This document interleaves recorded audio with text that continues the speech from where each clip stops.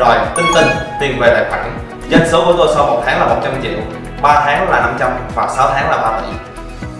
Thu nhập hiện tại của tôi bây giờ đã trên chín con số. Ta có một điểm chung, đó là đang tìm kiếm một cơ hội kinh doanh nào đó, một công việc nào đó để cải thiện thu nhập, ổn định cuộc sống và xa hơn nữa là tự do về tài chính. Tôi rất hiểu về điều đó bởi vì tôi đã từng như các bạn. Cách đây 2 năm, tôi là một nhân viên văn phòng. Công việc khá ổn định, thu nhập không cao, cuộc sống diễn ra bình thường, khá tay nhạt, nhưng đại loại là vẫn ổn cho đến một ngày, cuộc sống của tôi có một vài biến cố xảy ra và tôi nhận ra rằng tài chính của mình không hề ổn chút nào.